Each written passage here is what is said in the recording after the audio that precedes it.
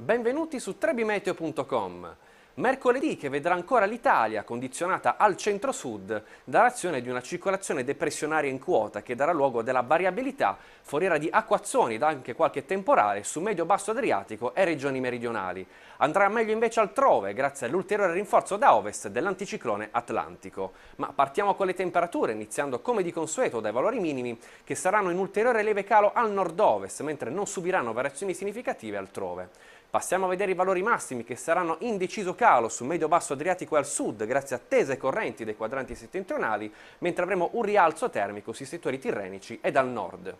Andiamo a vedere quindi il dettaglio previsionale riferito alle regioni settentrionali che, come dicevo poc'anzi, vedranno un ulteriore rinforzo dell'anticiclone da ovest, garanzia di una splendida giornata di sole su coste e pianure, mentre una branda nuvolosità diurna si concentrerà sui settori alpini centro-occidentali ed una residua variabilità ad est con il rischio di qualche locale rovescio sulle Alpi orientali.